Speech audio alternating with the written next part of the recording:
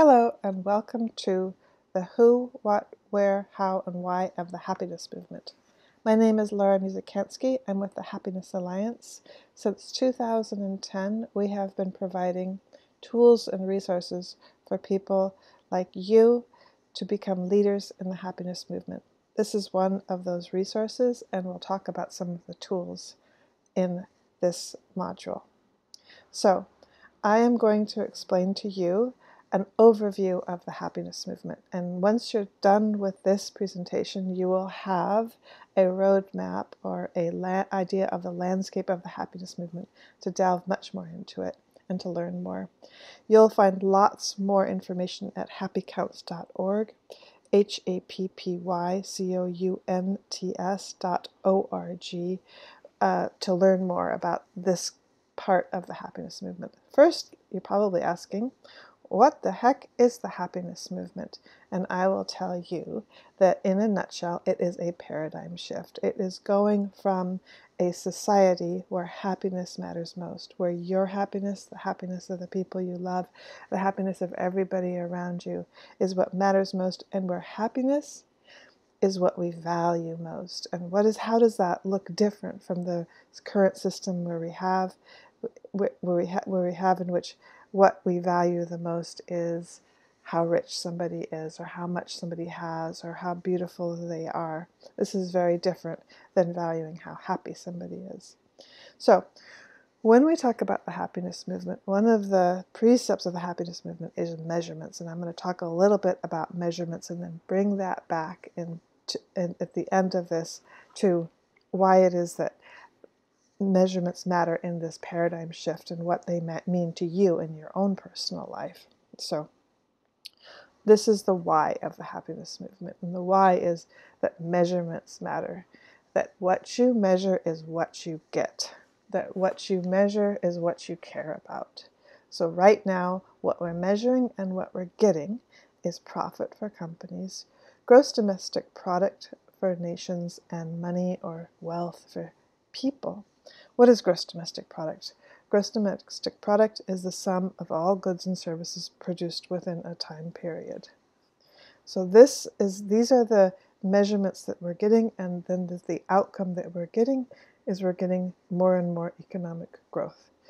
Now let's do a little bit of a reflection in, the, in that where does gross domestic product come from? Well, it used to be called gross national product, and it was devised by somebody named Simon Kuznets, who was hired by the U.S. Congress during the Great Depression to help Congress to manage the nation out of the Great Depression. At that time, Congress had this one measurement for the economy, and that was they counted the railway cars that left the station. And they knew this wasn't a good enough measurement. So Simon Kuznets came up with gross domestic, at that time, gross national product. And it's really important to note that he told them when he delivered this measurement that the welfare of, na- of a nation can scarcely be inferred from a measurement of national income. Well, Congress was able to manage the nation out of the Great Depression and also manage us through World War II, and then continued to use that measurement, as did all of the nations now since World War II. All of the nations, except um, with the exception of Bhutan, we'll talk about that, have been using some form of gross domestic product as the main measurement for their economy and for their government and for the society. Well, recently, uh, in 2009, the past French President Sarkozy commissioned these three gentlemen, Stiglitz, Sen, and Fitoussi, all economists, to look at what is the reality of the situation with us using GDP for so long. And they found that, in fact, the reality of the situation is that things are not looking so good in our economy. We had continued to have growing inequality, and more and more unfairness, more and more pollution, issues with climate change. And there was a call to for a new kind of measurement. This call was responded to with the United Nations in 2011, which adopted this resolution, Happiness Towards a Holistic Approach to Development. Of backing up this, this call from the United Nations was more findings by more economists, Layard and as well as Easter, Easterlin, who had done research here, this number one, where they looked at here's GDP growing and growing over the years. This is called longitudinal research. And yet, happiness, while it increases a little bit when we're coming up out of poverty, it really just doesn't seem to be increasing and even going down as GDP continues to grow up, which seems completely the opposite of the way that it should be if money really can buy happiness.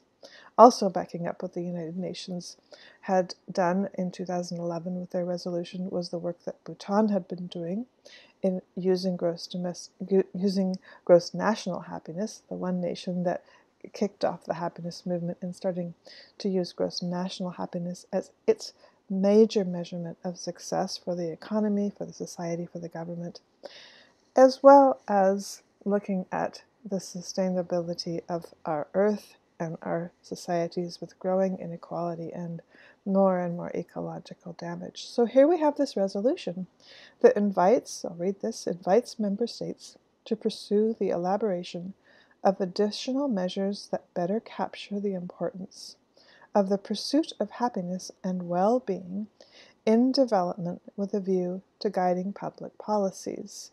So, this is asking nations to do this. Now, I still haven't answered that question of why do measurements matter so much? And here's the reason they matter. This is from work by Kasser and Ryan and others. What you measure, what the what the what the government measures, so what a national government measures, has a direct relationship to what people value. So when the measurement is GDP or profit, then the value that people have, the values that, that the society has, is wealth and appearance and how much money a person has. And when a nation uses measures such as gross national happiness or something like our happiness index, and we'll talk about other different um, happiness measurements out there, then what people value is happiness, equality, sustainability, what's called generativity or taking care and giving something to the future. So there's a, there's a direct relationship there that when a government changes its measures, the values change.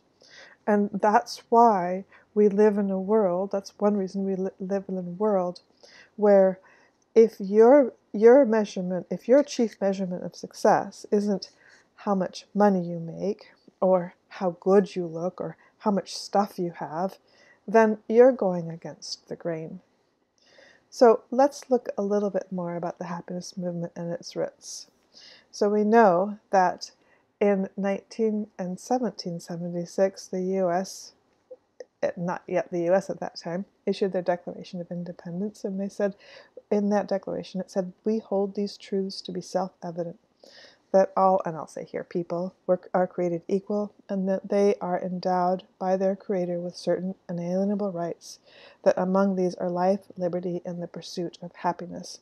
Now, take note that when this was then, when this was written, the term of phrase was pursuit of property, and there was a decision, a conscientious decision to use pursuit of happiness instead, and that this is the purpose of government, is the happiness, life, protecting and securing the life, the liberty, and the, and the happiness of people. So now we've gone a little bit about why the happiness movement is important, what it is. Now we'll talk about how what's what's happening. So how is happiness measured? We've been talking a lot about happiness measurement. You can have a direct experience of this at happycounts.org and take our happiness index. And when you do that, you'll be experiencing what we call a subjective indicator of well being. So it's a survey and it asks you, How are you doing? And you answer those questions. And then you get your own self assessment of your own happiness, which includes how you feel, how satisfied you are with your life, which is a reflective question, as well as how you're doing around these domains of happiness. So, how do you feel about your community? How do you feel about your environment, your government, etc.? So, I urge you to go to happycounts.org and go ahead and take that survey. So, you can measure happiness with subjective indicators and with objective indicators. So, the objective indicators are those things that you can count. Here we have jackfruit, but they are also, now certainly they include gross domestic product. They include how much money you're making, but they include other pieces too, what your level of education is, how you're how you're doing in terms of your your health care services, what your lifetime expectancy is, and other pieces of happiness and well-being. So that's just a little bit about this, and now you just kind of have some of the landscape and you can learn more by going to happycounts.org and seeing some of those resources, including the, including the OECD guidelines for measuring subjective well-being. So now we're going to talk about where. Where is this happening? Now, I mentioned Bhutan earlier, and perhaps you've been to Bhutan, or perhaps you don't even know where it is. So here it is on the map. Now, in 1972, it was a 17 year old king of Bhutan when he was asked by a reporter for the Financial Times, What are you going to do to improve your country's gross national product? We responded, Gross national happiness is more important than gross national product. And that was the seed that grew into gross national happiness. Where in Bhutan they measure the happiness of people with subjective and objective indicators. They have nine domains. Now, our happiness index is based on Bhutan's happiness, gross national happiness index with their permission. They have nine domains. They included the domain of time use, which was new for people. But here you can see those domains, and each domain is weighted equally. So the economy doesn't matter more than the environment, etc. They have subjective and objective indicators, and the objective indicators are weighted a little bit more. You can learn more about Bhutan's Gross National Happiness Index and get really into how they measure it, what are some of their techniques, um, and how they're blending these indicators at the grossnationalhappiness.org. So, another place that is measuring happiness is the United Kingdom. They were the first in the Western world. And their Office of National Statistics has there's measures of national well-being, and you can see that they have similar domains to in Bhutan. They issue these beautiful reports that you can go to their website and you can see trend data for. Very interactive, and they use this at a governmental level for different departments to understand what the well-being is. Happiness and well-being, we'll use those words synonymously. In the United, um, in the European Union, all of the nations are now measuring happiness and well-being in some version of or, or other. Some are using subjective and uh, others objective, and many of them a blend. And Eurostat has compiled their domains, or call it circumstances of well-being, and you can check out how they're using uh, indicators to measure ha um, happiness and well-being and rate countries. And then finally, We'll mention that I mentioned earlier the OECD, the Organization for Economic Cooperation and Development. Now, this is the organization that issues those reports that say which nation has a higher GDP. So when you see that China has outstripped the US in terms of its GDP, that information comes from the OECD. Well, the OECD about 2005 started to get wind that GDP was not a sufficient measure for well being, and then in 2011 they issued their Better Life Index. And this is really fun. You can go onto their website and you can play with these buttons, get an idea of which nation you should live in based on what, val- what you value most in terms of the domains of happiness and well being. So, let, we'll wrap this up pretty here, here with who's measuring happiness and how is it being measured with uh, this project in Brazil, in Ninja, excuse me, in Brazil, where Susan Andrews has worked with governments and schools and universities in a very grassroots level. And there's a beautiful flow here of how they've worked to use measurements to engage communities and then take action to enhance the happiness and well-being of communities, which you can also read about at happycounts.org on our community toolkit. You'll see a report there about how communities are doing with laying out um, very clearly so that you can use this as a model in your community. So now we've talked a little bit about that, and I will mention that we have also worked with many, many communities with many different models for how to use happiness measures, which I will talk about in the nuts and bolts section, the of the happiness leadership training in a future video. So, what is the happiness movement? We've talked about these measurements and we talked about the domains, but what do we mean when we say happiness? And we're saying that it's it's it's a holistic, it's a comprehensive view of of well-being and of happiness. And so you have your own idea of what happiness is, and everybody else has their own idea. And we, when we talk about happiness, we can encompass all of those. There's three different aspects of it. One is satisfaction with life, which I mentioned earlier, is reflective. It asks, when you asked, How satisfied are you with your life these days?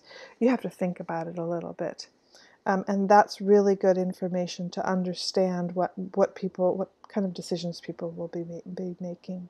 What these, these, these reflections very much impact our, our decisions of what we're going to do in our relationships, in our jobs, and where we live, and how many children, or if we have children, these kinds of things. And then there's the question about affect of how are you, how happy are you feeling right now? You don't have to think about it. You can just say, I'm not happy or um, I'm happy, whatever, at, at, different rates. That's really good information for knowing. Um, it's good information for planners to know what um, what spaces are, are bring happiness to you. Um, there's other ways to use this data. And then last in this piece when we talk about this is eudaimonia. So eudaimonia is the kind of happiness that we were talking about with our Declaration of Independence, the good life. And this is, I think of this as probably, um, in a way, lagging, but maybe the most important because this is telling you, are you really living your potential?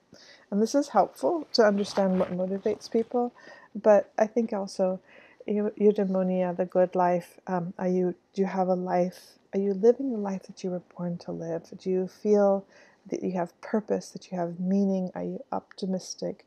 Do you feel good about yourself? This is probably the real deep part of, of what we mean by happiness. And this, having a life where you have that, um, have eudaimonia, is supported by all of these other different pieces. It doesn't just happen all by itself. Uh, so, there we have a little bit of what we mean by happiness, and we know that these measurements and these ways of thinking influence our decision, they influence our motivation, they influence our environment, and vice versa. It's all connected. You can look at some examples of happiness policies at the Global Happiness and Wellbeing Policy Report um, that's created by the Global Council for Happiness and Wellbeing, as well as a book that I wrote with my colleagues Rhonda Phillips and Jean Crowder, a former member of parliament of the Canadian government. You can look at both how to integrate happiness into uh, governments in, and how to um, what are the, some of the tools and the resources that governments can use as well as communities can use to bring about this paradigmatic shift. So, this book, The Happiness Policy Handbook, is based on the work that we've been doing in communities, with cities, and with governments since 2010. So, we'll keep going. Now, we're going to go over the who, the who's who in the happiness movement. And this is, remember, this is a very broad overview, and there are many, many other people. Um, and so, we hope that you will use this as a way to really explore who's who in the happiness movement for your own life and also to uh, help bring about this paradigmatic shift. So remember that the happiness movement is really based on the economy. And I think before we go into this part of the who's who, let's kind of think about what does economy, oikos is the is the um, Greek word for economy, and it means home. So it means it, the, the word economy at its root means taking care of your home. Taking, so it means taking care of the people you love, taking care of the household and your the the structure that you're living in. So let's just take that concept and stretch stretch it out to a nation. So that would mean that we take care of people we take care of families, we take care of the environment that we are that we are living in and all of the different components. And so I think this is one of the reasons that many of the who's who in the happiness movement are economists because they really get it that the economy is not just about money, that it's really about creating a place where people can really thrive. And so, one of the people I want to point you to is Martine Durand, who is the, um, the head, the chief statistician for the OECD. She took up after Enrico Giovannini had created the Better Life Index with a man named John Hall, who's now at the United Nations Sustainable Development Program. So she's one, and you can look at that that uh, Better Life Index and some really good reports on their on their website, as well as the I mentioned earlier the uh, OECD guidelines for measuring uh, subjective well-being, which definitively answers the question of whether or not you can measure happiness with a big, huge yes. So John Helliwell, who is a prof- uh, professor emeritus at the University of British Columbia, he is the first editor of the World Happiness Report, and he wrote a book, one of my favorites, with Ed Diener called. Um, Pub, well-being for public policy. I think that's a really wonderful book if you want to kind of dive into some of the thought leadership in this field. Carol Graham did some very early work and continues to do really important work in how do you measure happiness and what do those measurements mean for government and what are some of the ways that are that it can be used and what are some of the ways that we should be careful about how we use these happiness measurements. Richard Layard, also one of the editors of the World Happiness Reports, he wrote this book, Happiness, and he's the one who you'll see the, that graph that I showed you earlier that shows how GDP increases, but happiness doesn't after a certain extent. Rhonda Phillips, she's my co author for the Happiness Policy Handbook. She has been a community activist and a researcher, has about 25 different books that she's written about community indicators and community well being indicators. And she's the Dean of Purdue Honors College. And Jeffrey Sachs, also one of the editors of the World Happiness Report, and um, does a lot of speaking about the happiness movement all over the world.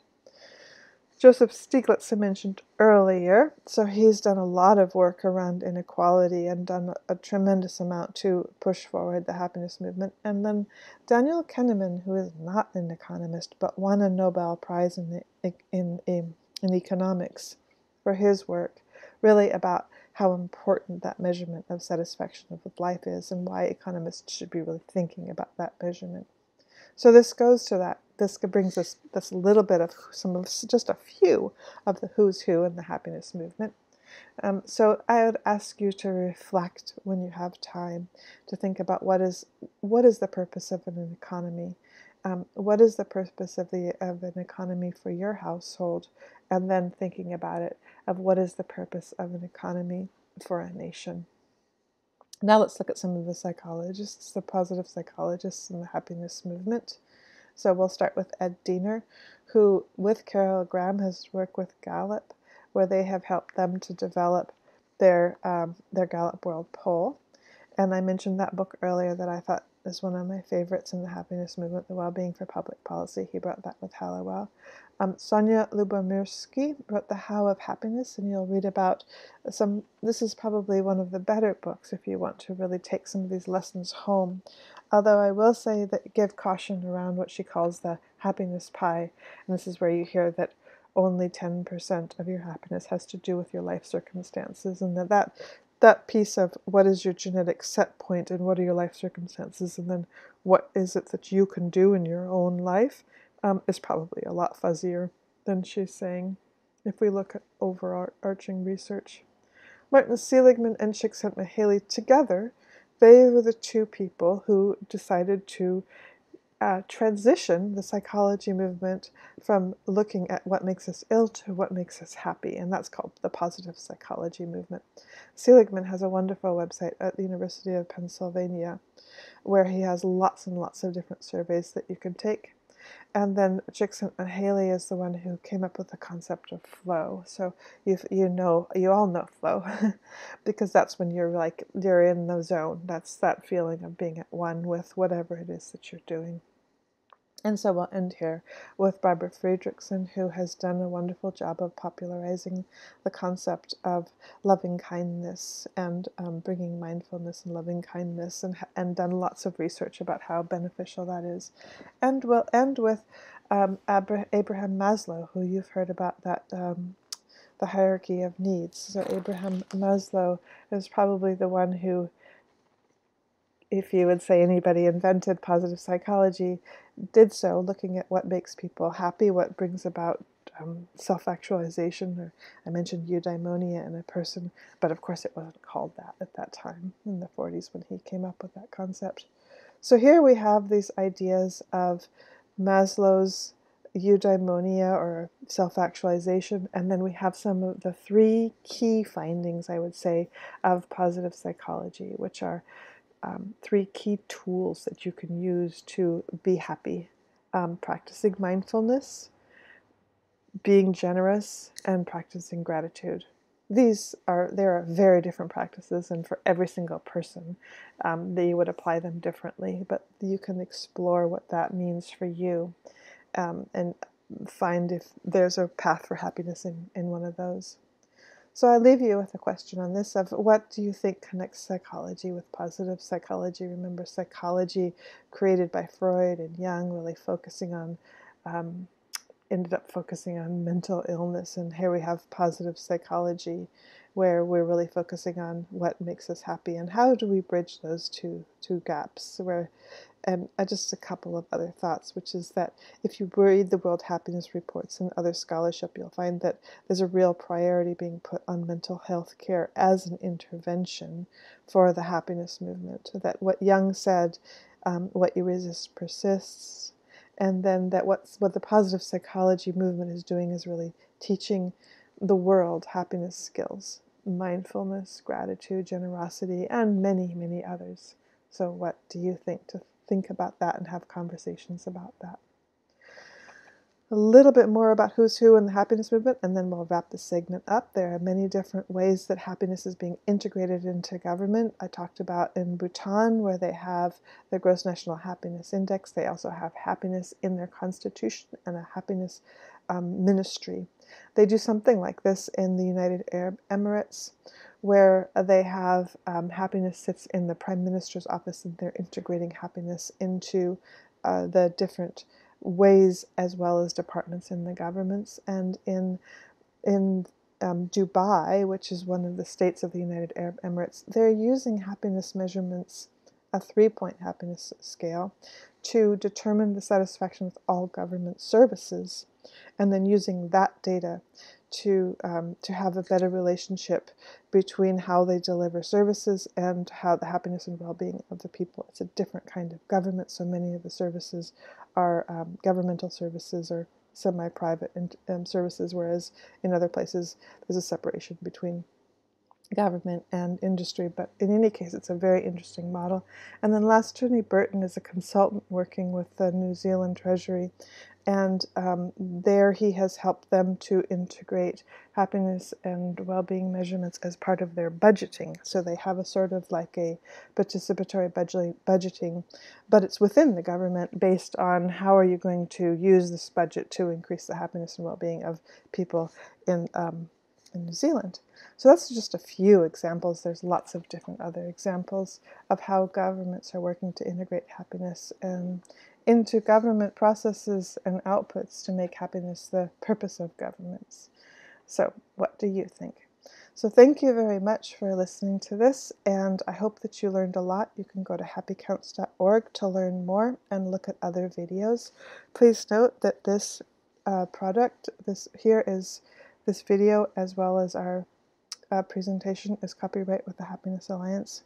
Please ask for permission for uh, you're distributing or using it at happycounts.org.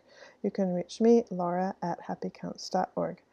And we hope that you will buy the Happiness Policy Handbook and donate to the Happiness Alliance.